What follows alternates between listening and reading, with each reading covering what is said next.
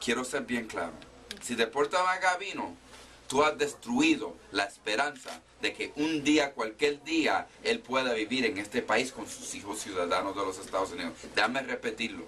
Si lo deportan y si él pierde su caso, él nunca va a estar reunido con sus hijos ciudadanos en paz y abiertamente aquí en este país.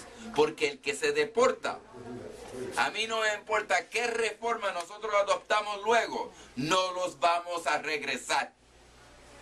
No los vamos a regresar. Así que nuestra prioridad tiene que ser salvar todos los que podamos ahora. Porque si no, luego las felicitaciones van a ser pocas. Porque van a haber muchos que ya han sufrido la deportación.